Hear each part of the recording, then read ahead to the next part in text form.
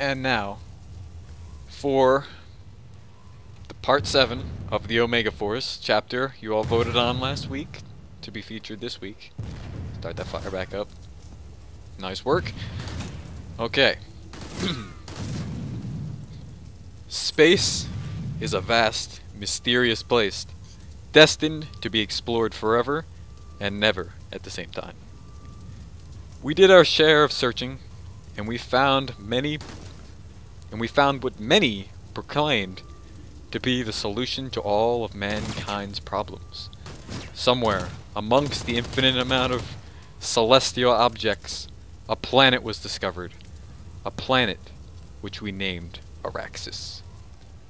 It was a massive world, covered in vast oceans and ten continents, each with its own unique biosphere. My fault.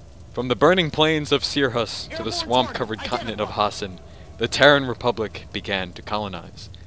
Together, we built factories and cities, towns and laboratories.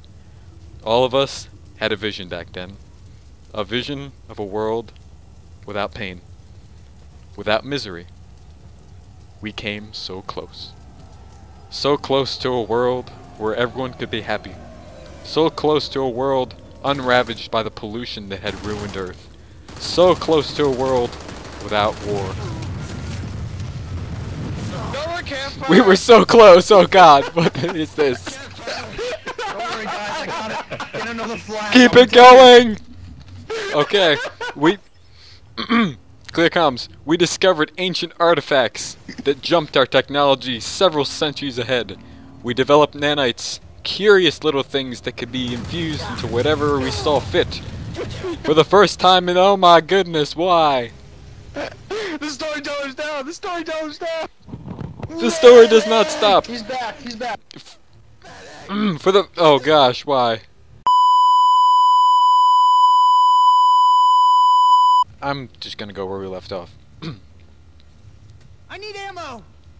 We discovered ancient artifacts and jumped our technology several centuries ahead. We developed nanites, curious little things that could be infused to whatever we saw fit.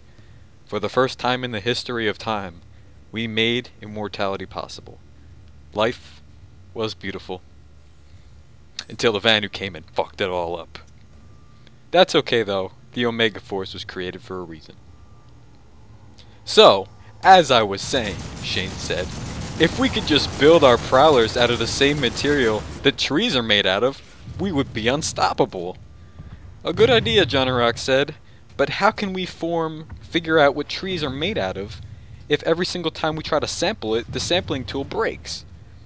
I think we just need to use something bigger, Shane said. ID'd an enemy. Like what? Johnny Rock asked. Don't you remember what happened to that NC destroyer last month? No, what happened? It fired its ship-based forward railgun at one of those giant avatar-looking trees on Hossin. Oh yeah? And what happened? The round vaporized on impact, releasing all that kinetic energy in one giant explosion. The gunner had his weapons locked for over a month for team killing everyone in a two-click radius. Hot damn. And the tree? Not a scratch. That's bullcrap, Shane said. This whole planet's bullcrap. Indestructible trees, infinitely thin floating lakes. What's next, continent locking? Oh, I wish. And what's up with all these new garage things on Esamir now? I can't hardly get near Sunderers anymore without, like, big walls protecting them. Complain to Nanite Systems. It was their idea. Everything is their idea. This whole war was their idea. And you know what? They've got a monopoly on the whole damn thing. Who even runs that company? Beats me. All we know is that they sell weapons to all three factions, supply us all with vehicles, and somehow manage to not piss anyone off. I've heard rumors that the Vanu run it. the Vanu? Haha, you're funny, bro. No, not the Vanu, the Vanu. What, like them alien things that makes all them eggheads moist in the spandex? Yeah. I've heard that the aliens actually didn't die, but they instead faked their disappearance so that they can make a ton of money off the human race. Why would the aliens care about certification points? I don't know. Why doesn't it snow on Esamir? I don't know the answer to these things. Things just happen on this planet and no one knows why. There was a long moment of silence during which no soldier spoke. Hey. Yeah? Do you ever feel that that maybe we're not as in control of this war as we thought? Sector 6! Infiltrator in the area! What do you mean? I don't know. Sometimes I feel. I just feel that I'm not a real person. But that someone, somewhere, is controlling me with a mouse and keyboard. Both soldiers suddenly looked up to see a Sunderer driving across the sky. They watched it as it soared off to the max render distance and then disappeared. Shane and Johnny Rock then returned to their conversation as though nothing had happened. Yeah, I know the feeling. To be continued? Dun dun dun.